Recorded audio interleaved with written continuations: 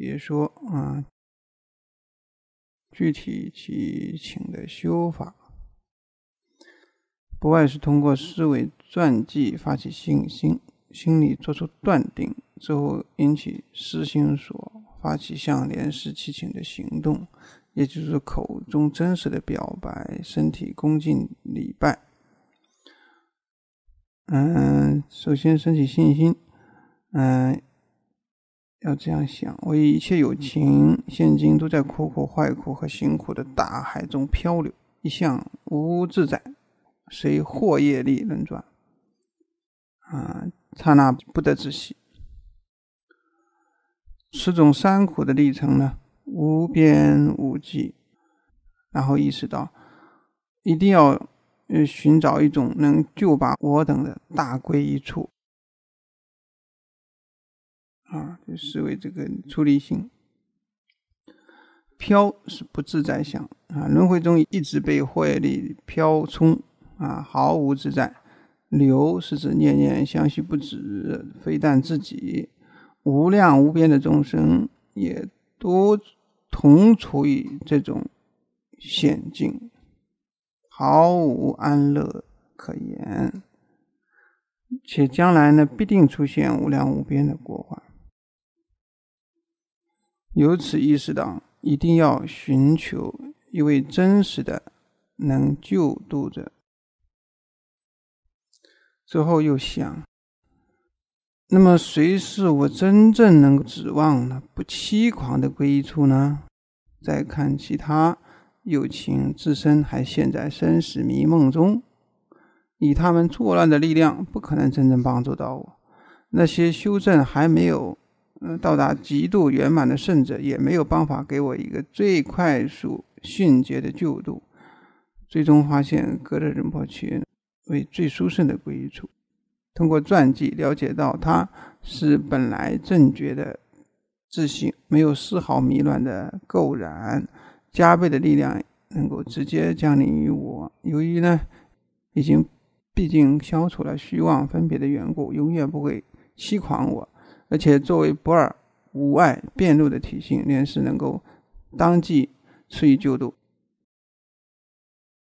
于是就想到生死梦幻中，我最希求的就是佛力的加倍，这是一切力量中最不可思议的力量。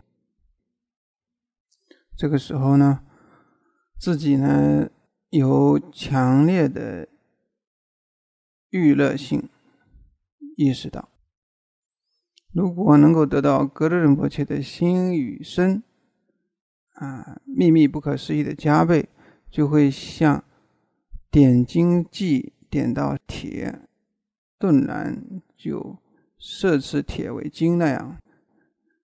格勒仁波切佛的三密神力一旦加倍到我，就能够顿时摄持我的三业，即对佛力的深信。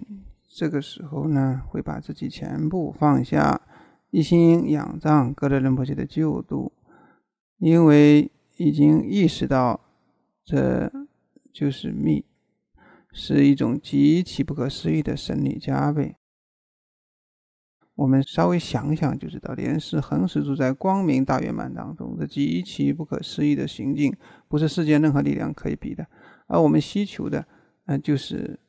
一刹那间得到这种无法思维衡量的佛力加倍，他一旦点到心上，顿时恢复自己新的生命，会使得身与意这种无法控制的状态立即出现转机，这就是顿中顿的妙道啊！你看这个加持啊，直接转化我们，我们必须意识到。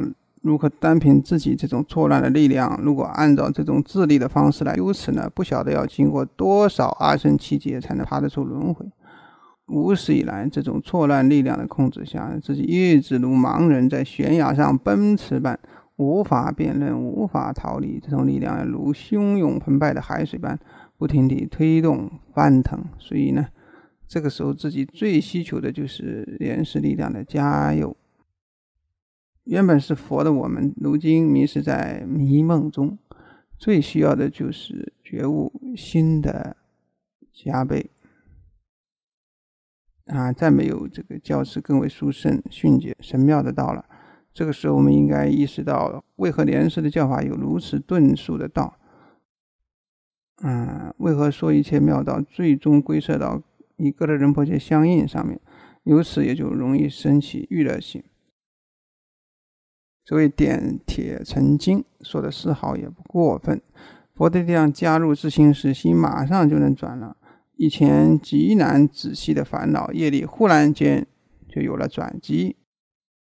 是吧？昨天师傅也讲了，呃，你忽然就发现业力没那么强大了啊，你自己变得强大起来了，业力不像原来那么强大了，你能转得动它，原来转不动啊。原来面对一个野兽，觉得自己啊像个小蚂蚁一样，就现在啊像巨人一样啊，这个就是不一样的啊。你还没面对一只野狼或者老虎，是吧？如果你是一个小兔子，那你怎么能玩得过它呢？啊，那，现在你突然一下变成了绿巨人，嗯嗯，人一下子嗯不一样了，被这个佛加持了以后，转眼之间就变成绿巨人了。哎，绿巨人这个电影有人看过哈？吃了一种药以后，一下力量增加好几千万倍啊！业力忽然间有人转机，其实呢是得到了上师三密的加倍，自然摄持之心而顿时转变。还有一种现象呢，就是我们不修的时候好像没什么业力，没什么事，但是一修啊，发现哎呀，好多的业，好多的妄念，好多的病都来了，发现自己的妄想特别多，烦恼还加重了。这个不是坏事，这个是因为你修行的缘故，这业就翻出来了啊。你的习气会觉得比以前还重，好像还会那莫名其妙的烦恼增加了。事实上，这个是你的在消业的一个过程啊。这个时候你正好七情了。佛菩萨加持消业，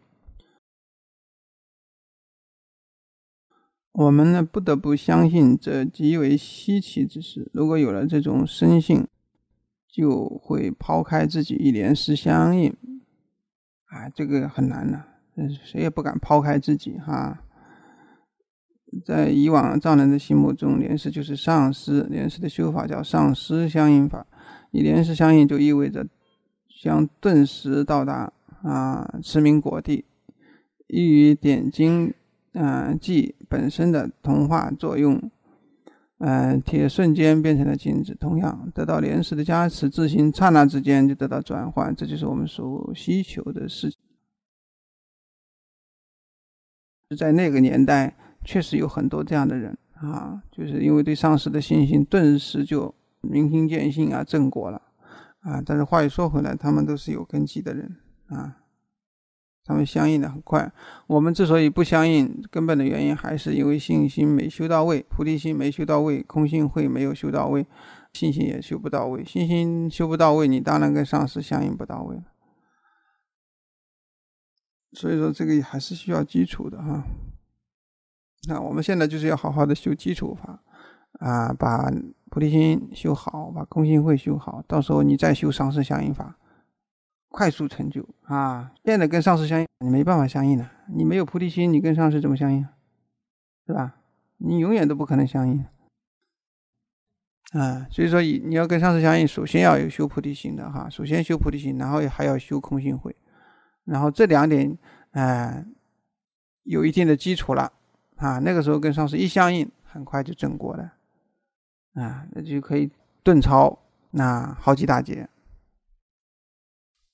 啊，真是这样。要是那个时候靠自己修，那就慢了。所以说，在什么时候相应，这很重要的。啊，一点基础都没有，你相应不起来的啊。具有了信心或者圣解遇了之后，就要发起无余的皈依。啊，这个圣解就是要有菩提心和空心慧，才能达到圣解的啊。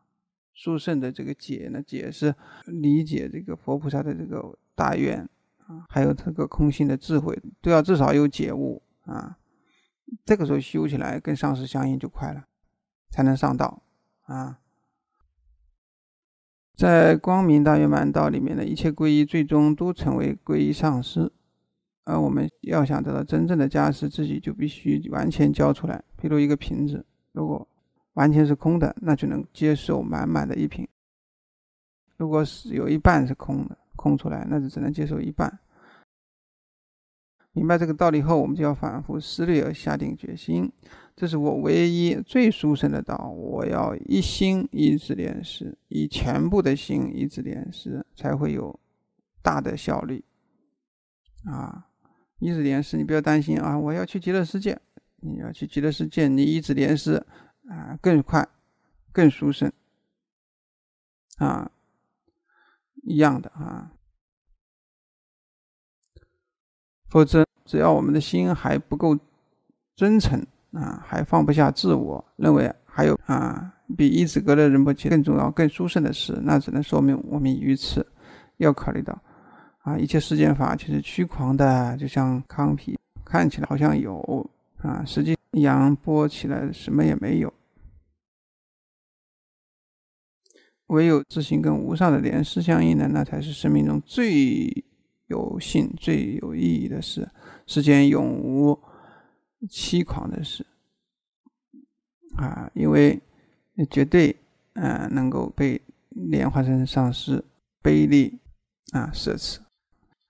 基于这种信心，我们就要认定啊，其他世间一切无意义的事，我们要像放弃康皮那样完全放下。从今往后，一心一意地跟着格德仁波切走，上师说什么，我们就按照那样去做，舍弃自己的心思，我唯一随上师而转，这个就好办了，这个信心就修到位了哈。由此呢，丝毫不违约，嗯，地来修行啊，这就是我们要反反复复考虑的事情。在这个极其重大的事情上呢，每个人都必须辨明方向。啊，一直心识，我们就一定能够跟莲师相应，之后迅速得到光明大圆满成就。真正实行大圆满法的时候，要求舍弃世间，一心专修；要求全心全意的跟上师相应，啊，要求九断法，是身口意义上的各种无意的事都要断掉，啊，唯一跟大圆满智慧相应。也就是跟上师相应，因此呢，自己现在就要发起其心，思心所一旦升起，就要表现在行动上，把这件事情做出来，不能光是停留留在口头或者心里。于是就在格伦伯杰面前恭敬地表白自己的心意，这叫做祈请。啊，这下面是一个标本啊。他是这么祈请的：现在为了跟师傅学，我把世间的这些事呢，全部都舍掉。我已经决定把自己的心完全交出来，唯一跟着你走。消极的事，我百分之百全部放下；积极的方面，百分之百全都按照您说的来行持。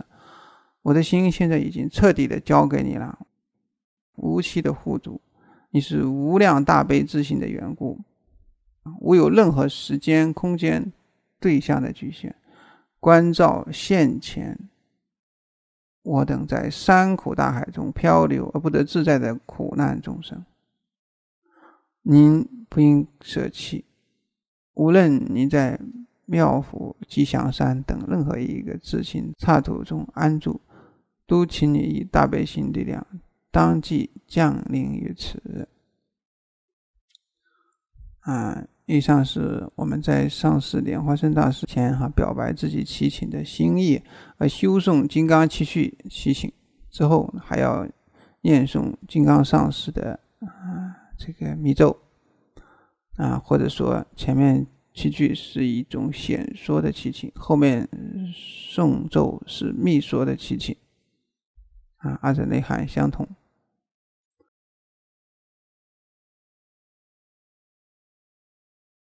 格勒本马斯的轰啊，那格勒上师啊，它不是藏文，是梵语。我们每天念的四皈依呢，也是梵文的啊，不是藏文的。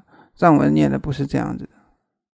上师呢，意为深重、沉重，呃，它是一切经中最尊最重的经，再没有更超神的了。上次我们创了一个英文单词，叫做 “teacher father”，在英文里没有这个单词，我们创了一个单词。现在西方人说我们叫 master，这个 master 在英文里面是大师的专家的意思，就是啊，就是你在这个方面就是很专啊，很厉害。哎，但是呢，我们佛法的这个上师啊、师傅啊，为什么说最尊最重呢？因为你看，他既是 teacher 啊，又是 father，父亲和师傅的结合，这肯定是最世间最尊最重的经了。啊，师和父是吧？你放在一块了，再没有更超生的了。由于三世诸佛，嗯，所有的悲智事业。全部设计在一位莲花生大师当中，所以成为一切境中无上的境，宏大而深重。深是指的是已经测证的光明大圆满法界，没有丝毫妄心的垢染，深到了极处。重是说它圆满具足，啊，无量的断正功德海，是一切诸佛的总集。我们的心呢？也应当由此意识到，它比任何境都要重大殊胜。那其中有极大啊因缘果报。歌的一层藏文是喇嘛的意思啊，有不可违约之意。也就是说，一旦违背了他的指示，会带来非常严重的后果。如果嗯我在心态行为上稍有不公，必定会产生极大的过患。因此呢，应当想清楚。要以什么样的敬畏和殷重来面对这一对境？如果对因果稍有愚昧，就会在这个方面造下大罪。懂因果的人都知道，敬在因上是一种很重要的因素。随着敬的功德力大小，会呈现出感果大小的差别。如同随着不同的田地品质不同，助长的力量也不一样。当真正意识到这是世上。无比沉重、极其深重的境时，自信才会开始敬畏起来。会意识到，啊，对此境绝对不能有任何轻慢、亵渎或者无所谓的态度，并真正升起一种大殷重、大恭敬、大尊重之心。隔着啊，以为尊重啊，尊嘛，我们说本尊就是这个意思哈。本尊就是从这里来的，尊的最尊最重啊，叫做本尊。本是根本啊，尊是最尊。就过去说皇帝才叫尊，是吧？啊，九五之尊。好，我们经常说本尊就是指佛了。你最有信心的一个佛叫本尊。那我们都知道佛有一个名号叫世尊。那么本尊呢？嗯，就是最有信心的一个师尊，跟你最有缘的一个佛，就是你的本尊。那么啊，本尊跟上师呢，那这样你要连在一起啊。你要想，你的上师就是本尊的化现。这个前两天我又说到这个九重啊，这个嗯，九重就是法报化三身的九重次第。我前两天说的法呢是比较高的啊，说到最后，释迦牟尼佛是化身之化身。今天我们也可以还换一个说法，也可以说，啊，上师就是化身的化身，啊，化身的报身呢就是金刚手菩萨，应该哈。那法身是法身还是普贤王如来？啊，法身的报身呢就金刚总持，啊，法身的化身呢，呃，我们那天说的是金刚萨埵，我们这里说的不是，这里说的是。法身的化身就是释迦佛，前世就是释迦牟尼了啊！你可以这样想啊。那报身呢？报身的法身还是种金刚种子了，就是五方佛了啊。报身之报身应该就是平常说的这个啊啊金刚萨埵，他把这个降了一个地面啊。报身之化身就是金刚手菩萨。那么化身的法身呢，就是释迦牟尼。化身的报身呢，就是金刚手；化身的化身就是上师。啊，你这样子去排也可以啊，这样排呢也是，呃，也是很殊胜的。法报化三身呢，其实又是一体的啊，一体不二的啊，所以说呢，上师就是佛，要从根本上说，上师就跟普贤王如来就是法身之法身，跟化身之化身。其实呢，也是一体不二的。就上师就是普贤王如来的化身，你可以这样子去观修啊。那普贤王如来你观不到，你就可以观金刚持，是吧？或者观释迦牟尼佛也可以。你可以观他释迦牟尼佛化现的，或者观是金刚大日如来的化现的，普贤王如来的化现都可以啊，因为他们是一体的啊。所以说佛法很微妙，就是你在强调哪个地方的时候，就说哪一点都没有问题。啊，奔马意为莲花啊。至于乌金大师名字的起首显示，上师呢，莲花生大师是无生无死、无因无缘的本质菩提的体性。那么呢，我们的本体呢，当然是超越因果的，是超越生灭的啊，它不属生灭啊，也不属于因果的范畴。为什么用莲花来显示呢？为什么它不经母胎呢？一则是因为它是金刚体性，不是因缘所生法，没有任何生灭相啊，莲花才是最好的表征。再者，莲花表示因果同时啊，所谓的因果同时呢，就是即因即果，花开启的时候呢。里面已经有果了，不同于先因后果之相啊，之前没有啊，因缘和合时忽然啊新生出来，这些都是虚妄的有为法。而菩提自信是法尔圆成，本体远离生灭，以因缘造作。格伦波切的应现，用莲花来表征，也正是表现了极稀有之相。释迦牟尼佛呢，是我们的本师啊，来到娑婆世界实现了化身佛行义啊。首先经过母胎降临，最终向弟子实现无常色身土皮，在世间隐没啊。格勒仁波切呢显示的金刚体性呢，这不经过胎生而自然化现，最终实现无始金刚身。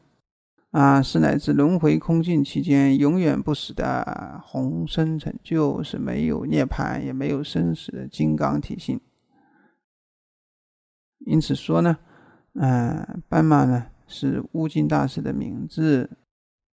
啊，我们说斑马鸠尼啊，就是这个他的名字。莲花生就是啊，叫斑马鸠尼，也是他体性的表征。嗯，它显示了顶层大圆满法的任运成就相，这是世界上最稀奇的显示。是德，啊，表示所求之意成就啊，是的，是的，就是西地，也就是悟经上师面前祈请祈愿得到一切共同和殊胜的西地。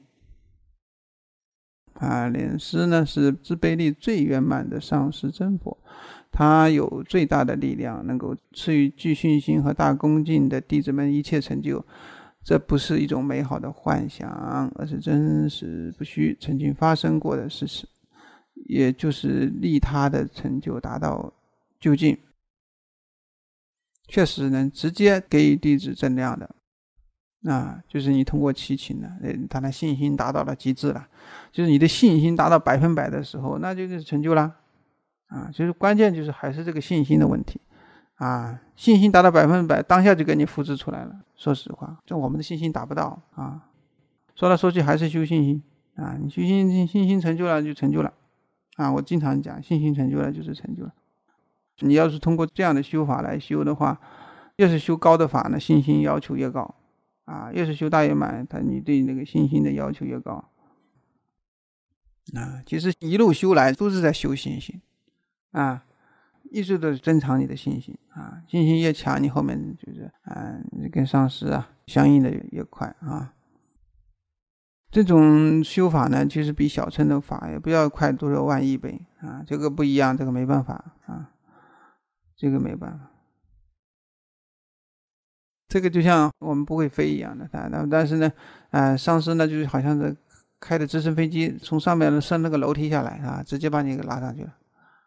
我们都看过哈，那个直升飞机是不是可以放下楼梯来，是吧？你只要抓住了，嗯，哎，飞机一起飞，你也慢慢的爬上去了，就把你带走了，是吧？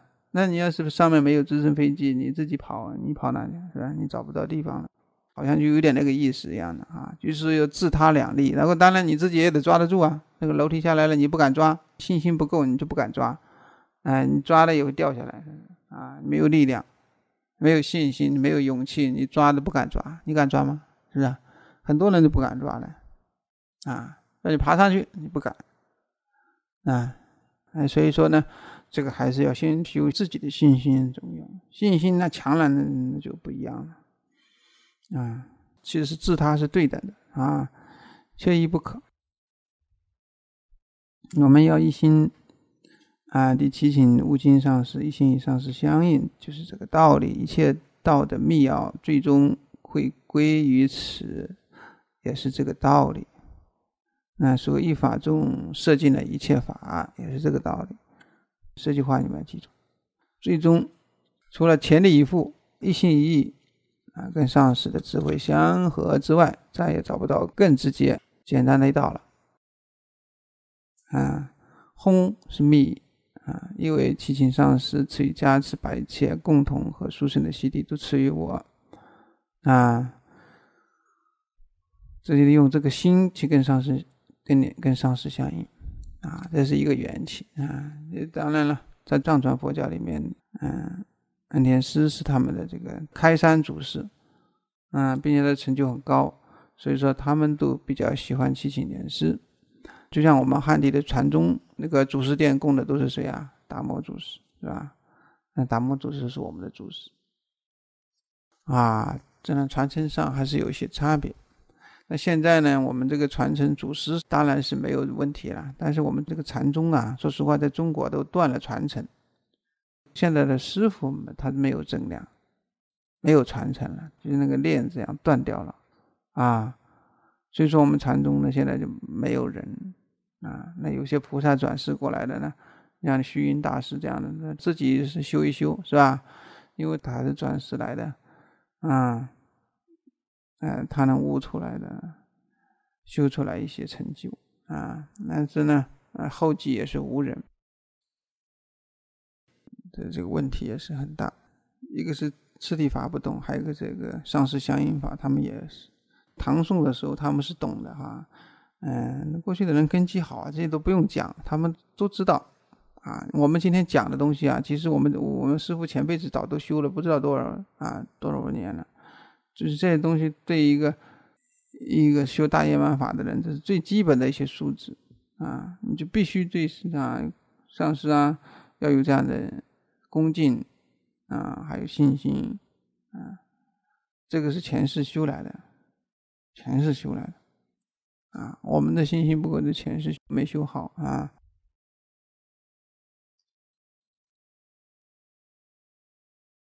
我总结啊，总结呢，一提醒的对境啊，要对于所提醒的三十诸佛总结的莲花生大师，尽可能发起无量的认识。这种认识越深、越广、越圆满，就越容易升起有力的信心啊。那么这个深广是吧？你没有菩提心，你就不可能深广，是吧？你要理解，你要理解莲花生大师的悲愿啊，你首先自己要有菩提心。那你要猛烈的修菩提，你菩提心修的越好，你对菩佛菩萨的那种悲愿呢，你理解的越深越广啊。那么智慧也是一样，你闻思啊道量，那么呢，你就能够对佛菩萨那个智慧啊，就会升起强大的信心。虽然你那个时候还没有证道，但是你已经完全了解了啊，升起了殊胜的这个叫做圣洁性啊。你有了圣洁性以后，你再修上师祥言法，你成就的快了。那你没有圣洁性的话，你你你说你修相相应法有什么用啊？没有用的啊，啊没有用，你修不你修的也没有不，你也相应不了啊，你没有办法理解啊。所以说这个认识这很重要。你看莲师传记，你有些人只是看故事了，啊，有些人就能理解到密意了啊，啊，理解到这个啊莲师的大悲心啊、菩提心啊，还有空性慧都能够啊读得懂。所以说呢，这个认识越深越广越圆满，就越容易升起信心。否则呢，以浅薄片面的认识，不可能充分的开启信心。那么这个浅薄和片面的认识，也是源自于你没有菩提心和没有智慧的缘故，是不是啊？那你没有菩提心，肯定是很浅薄的嘛。那么你没有智慧，肯定是片面的呢。啊，所以说你不可能哈，你不要以为哦这个法简单了。我们上师讲的什么四念住啊，什么什么解脱道、空无我呀，都不要学了，是吧？这个莲师相应不就完了？是吧？就像你有些人学阿弥陀佛也是这样的，啊，阿弥陀佛好，那念阿弥陀佛了，啊，其他都不学，啊，你是这个愚痴的人呢，就像吃饭一样的哈，你这啊，吃到第七碗吃饱了，然后就说前面六碗早知道就不用吃了，啊，愚痴的人都是这样的。啊，直接吃第七碗，你看很多人都这样子啊，这样的人多得很呢，啊，都以为啊吃到第七碗饱了，就第七碗才有用，前面六碗都不要了，这是愚痴的人啊！我们不要这么样做愚痴的人啊！吃饭是一碗一碗积累起来吃饱的啊，不是直接吃到最后一碗。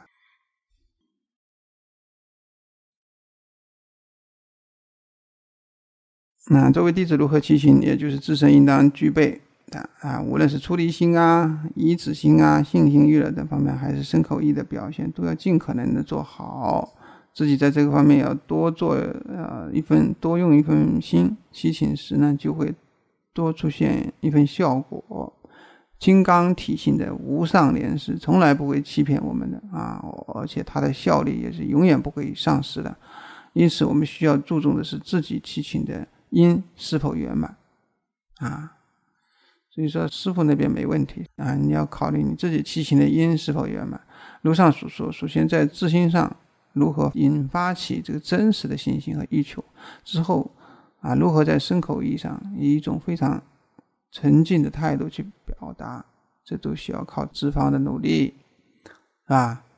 公办扎，你要把自己的全部都要舍弃，是吧？你公办扎的时候，就是要完全放下自我，是吧？全部交给是上师三宝。你公办扎的时候也要这样观想的。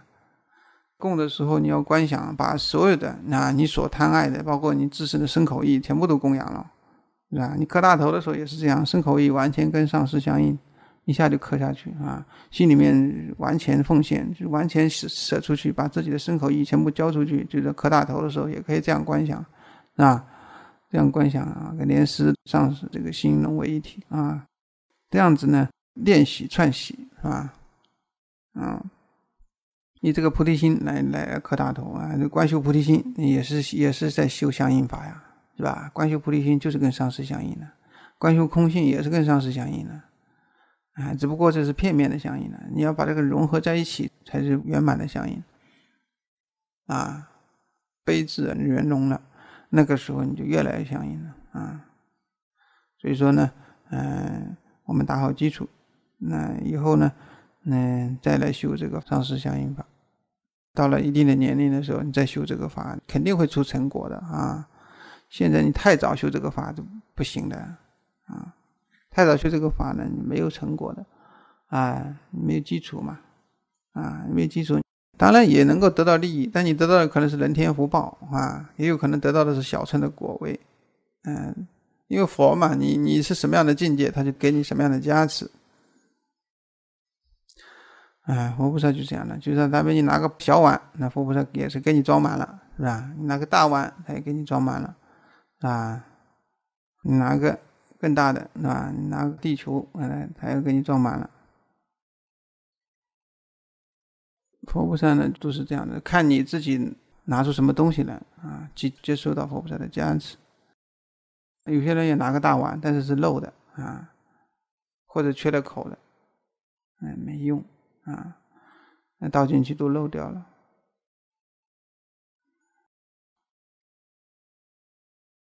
下面讲七情的所求，七情的所求呢，那当然是要为了度化众生，祈求成佛了啊。所求呢，就是发菩提心呐。菩提心就是我们的一个所求。好，我们今天就讲到这里。